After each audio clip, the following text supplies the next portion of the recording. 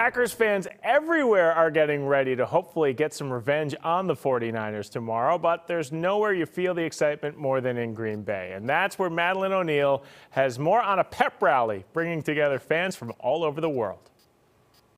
Before doors even opened here at Johnsonville Tailgate Village, dozens of fans were lined up outside here, more than ready for tomorrow's game. The atmosphere, that's you can just feel it right through your bones. It's not just the cold these Packer fans feel in their bones. They're Packer fans. I mean, who's gonna, who else is going to stand out in the cold? It's the Packer spirit. I think we're going to do her. I don't know if the 49ers can handle the cold weather tomorrow. Enough to warm any fan's heart. It's like no other. I mean, everybody, we just love our Packers. That love goes a long way. They think I'm absolutely crazy. This fan came all the way from Newcastle, England. Everybody who knows me knows Green Bay.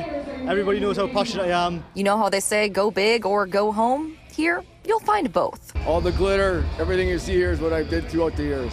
From big hats to big fans, all excited to have the advantage of playing at home. 49ers, they like the cold? I don't think so. It's freezing out here. Red jerseys stand out here, but 49ers fans from California say the green and gold are still welcoming. Oh, yeah, they're nice.